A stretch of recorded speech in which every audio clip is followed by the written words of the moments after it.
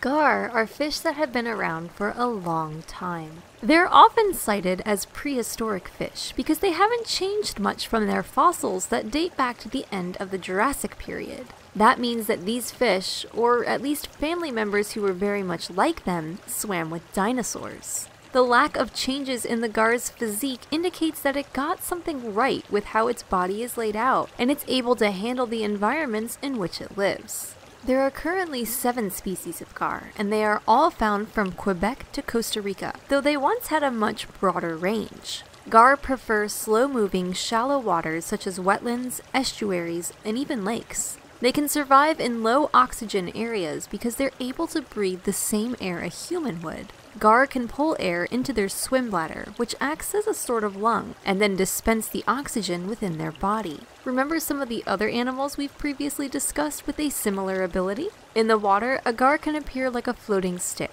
They don't move much or very fast, at least until they need to. Gar fins are specialized to allow them to move quickly through the water and strike down prey with their sharp teeth. A gar's mouth can be long or short, though really it depends on the species. After catching a meal in the form of a fish, crustacean, or insect, a gar will usually swallow it whole.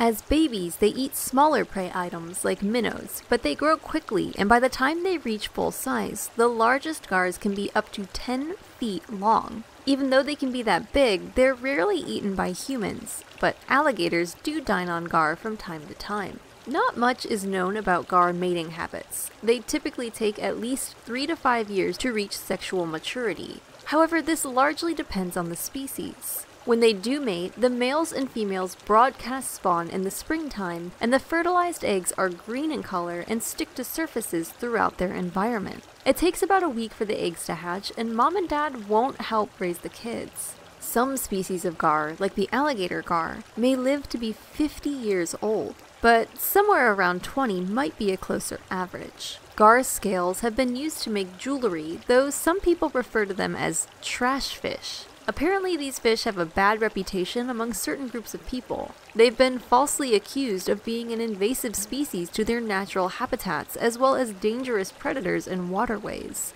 While they do look intimidating, there's never been a documented case of a gar attacking a human. And if you've watched this video all the way through, then you know they aren't an invasive species to eastern North and Central America. It just goes to show things aren't always as they seem in the animal world. For more facts on GAR, check out the links in the description. What do you think of these crazy fishes? Thank you for watching, and be sure to give a thumbs up for more animal fact files.